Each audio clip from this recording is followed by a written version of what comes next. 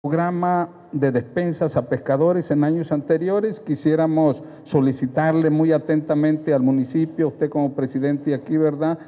Que a través del DIC se ha dado, ¿verdad? A ver si alguna gestión de usted puede por allí eh, canalizar algo de despensa de apoyos a los compañeros, porque ahorita estamos en el piojillo que le dicen, ¿verdad? Y sí se ocupa, es un paliativo, se ve muy poco, pero es gran ayuda para nuestros compañeros. Y darle las gracias, señor presidente.